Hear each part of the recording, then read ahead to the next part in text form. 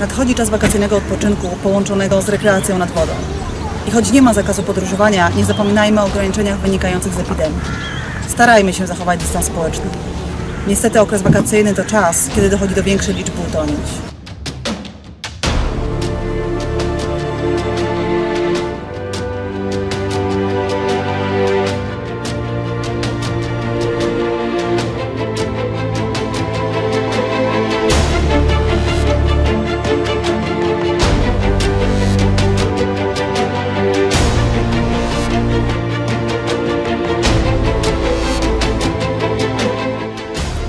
Się tylko w miejscach do tego przeznaczonych.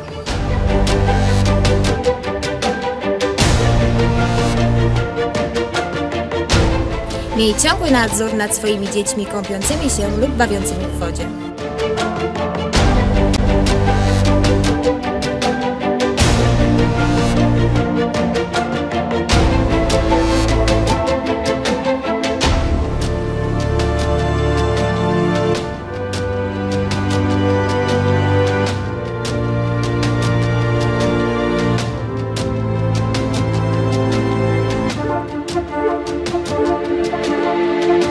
Nigdy nie próbuj pływać po użyciu alkoholu.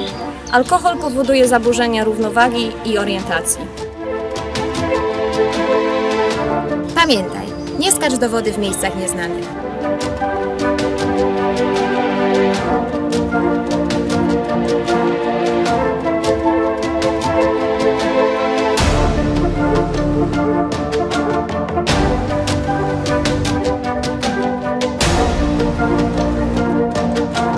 Pamiętaj o numerze alarmowym 112. Szybkie zaalarmowanie służb może pomóc Tobie i innym. Nie zwlekaj.